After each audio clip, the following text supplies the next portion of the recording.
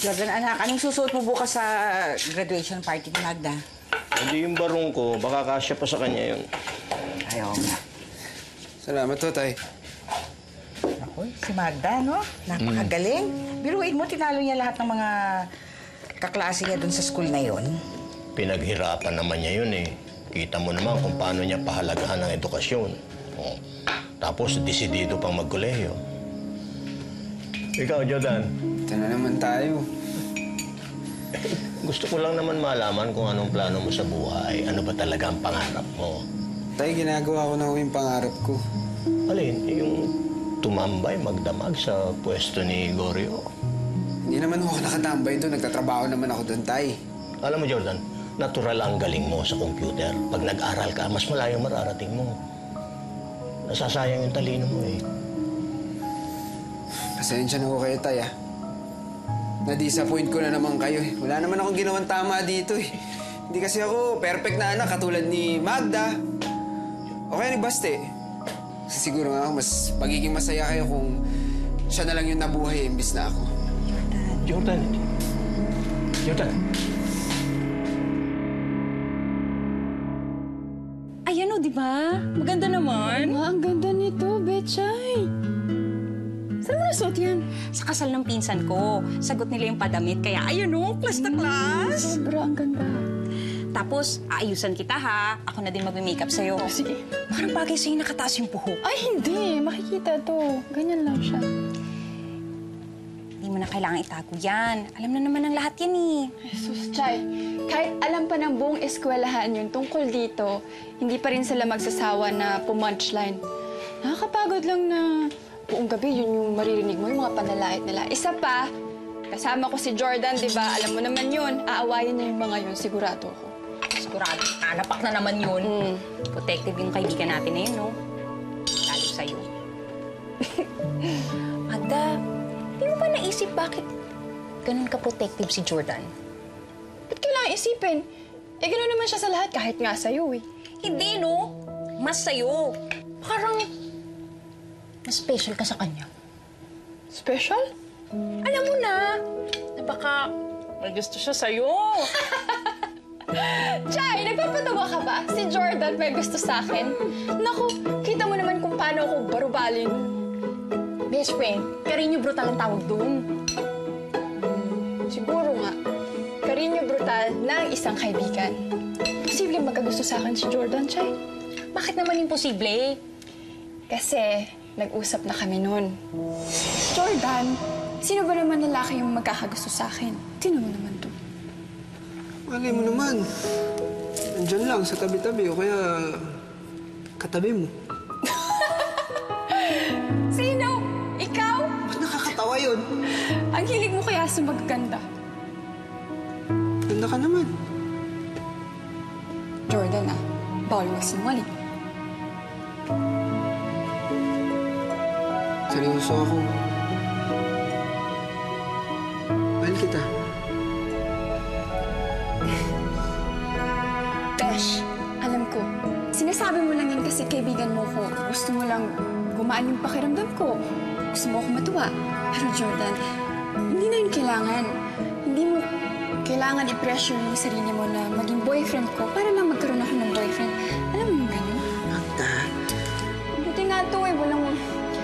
romance-romance na makakagulo sa atin. Kasi pag naging mag-boyfriend tayo, pwede mag-break, diba? Pero kung magkaibigan, Hindi. Solid time talaga.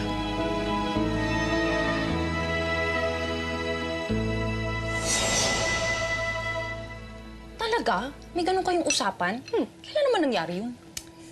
Pagkatapos ng 16th birthday ko.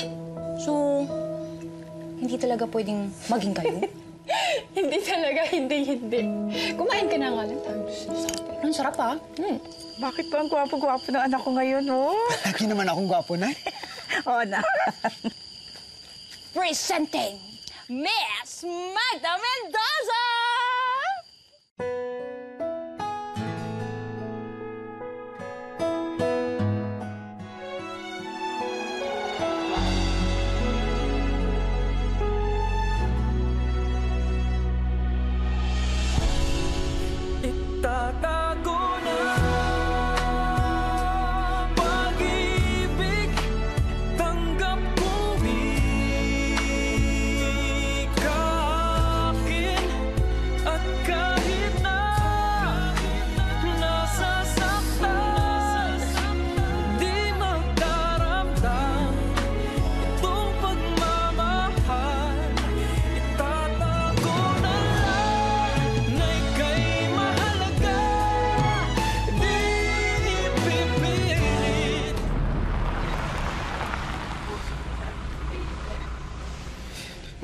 Pala.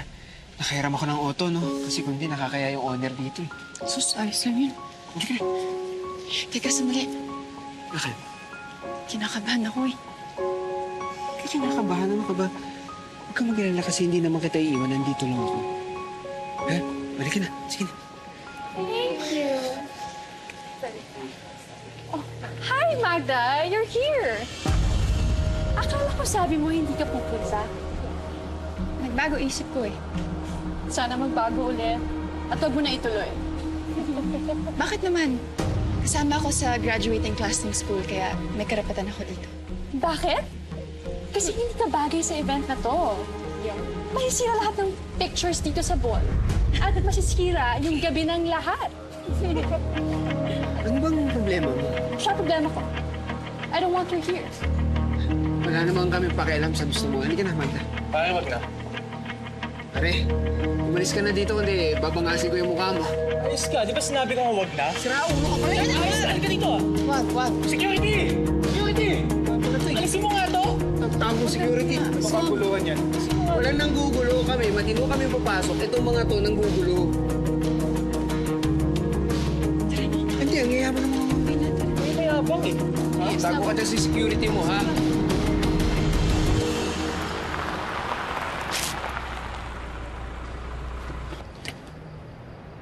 Alam mo, dapat hindi tayo umalis dun eh. May karapatan ka din dun, Magda. Alam ko. Kung lalaitin ka nila, nandun naman ako. Alam ko din naman yun. Kaya mas maigi na rin na umalis tayo doon para iwas gulo na lang. Mamaya, makulong ka na naman ulit ng tatay mo. Sorry, ako pa yata sumira nung gabi mo. Hindi ah. Buti nga nandun kay... Alam mo, kaya akong lumaban. Pero paminsan-minsan, masarap din sa pakiramdam na may dumidepensa sa akin. Kaya, salamat.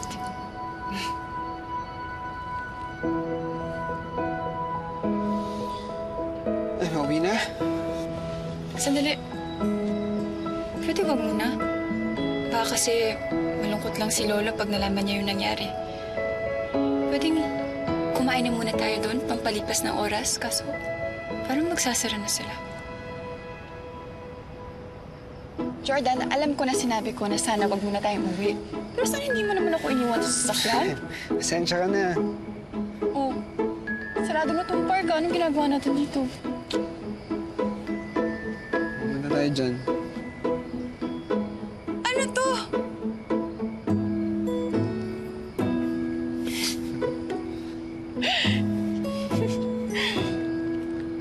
Di ba? Parang grad ball lang. Shall we? Pasyalwi-syalwi ka pa dyan.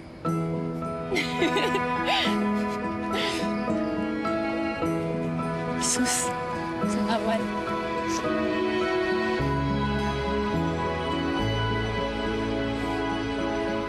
Special to mga to para sa'yo. Special to. Wow! Talaga pag si Jordan, no?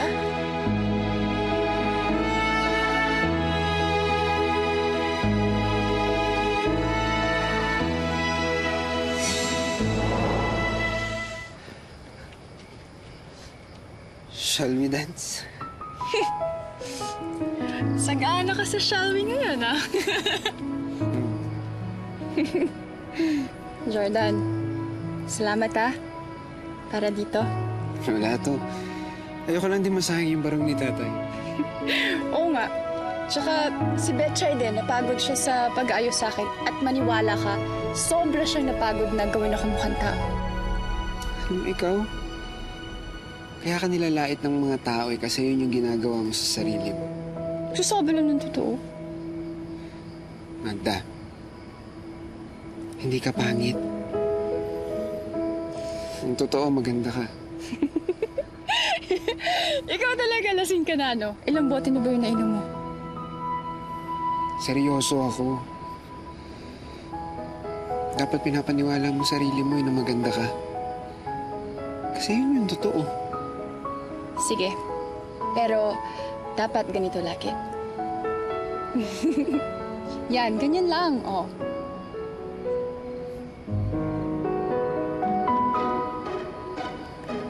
Kahit ito. Pwede nga lang sana.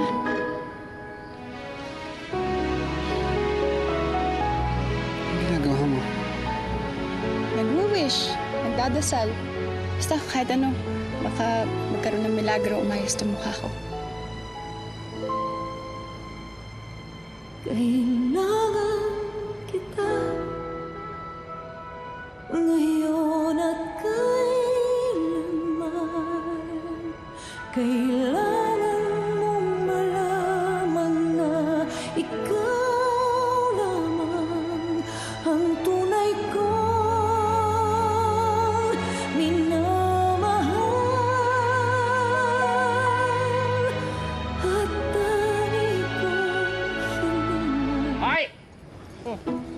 Ay, ay, ay. Anong ginagawa niyo dito, ha? Namamasyal lang ako, sir. Mamasyal? Alam niyo anong oras na, ha? Gabi na, sarado ang park. Balik na kayo bukas, sige na. Sige, babalikan na lang mo ito nung kinausap ko. Sensya na, sir. Ano po kayo ulit? Kayong tatlo ang pinaka-highest among your graduating class. Kayo ang honorable mention, salutatorian, and of course, the class valedictorian. James, you have the honorable mention award. As for the salutatorian, Rachel, ikaw ang salutatorian. Congratulations, Magda. You are our class valedictorian. Sir, ibig sabihin, sa akin po mapupunta yung scholarship? Ganun na nga. Maraming salamat po. Maraming maraming salamat po.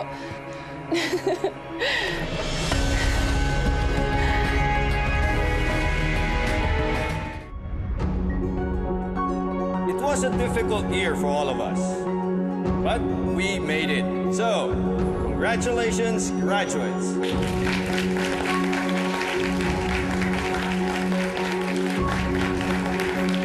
Let me first introduce our special guest for this commencement exercise, our very own and dear Commissioner, Conrad Suarez.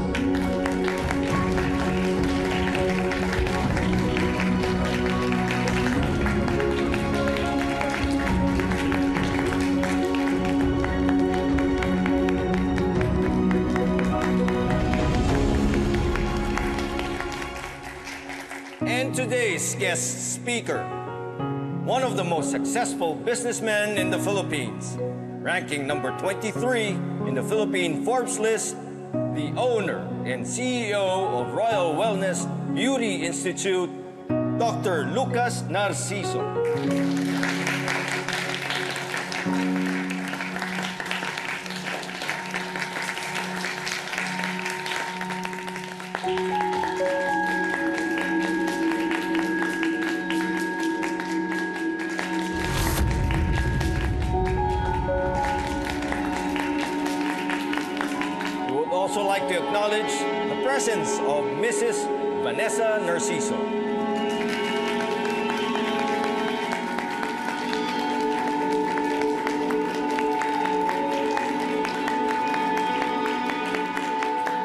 Thank you for gracing this event, Mrs. Narciso.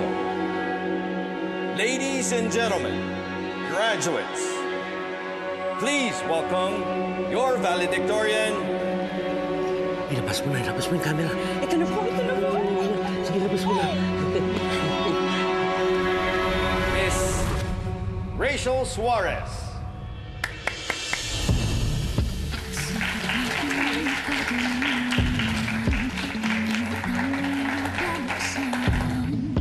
Always remember, Magda. Hindi mo ako matatalo. Congratulations. Good job. Pagkat nadarama